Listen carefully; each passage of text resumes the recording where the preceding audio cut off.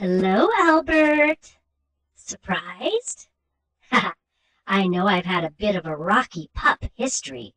You know, chewing on things, maybe swallowing a sock or two.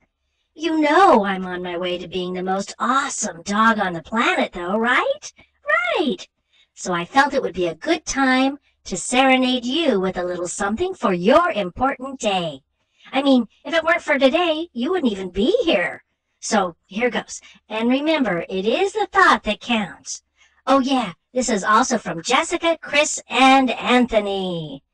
Happy birthday to you. Happy birthday to you. Happy birthday, dear Albert.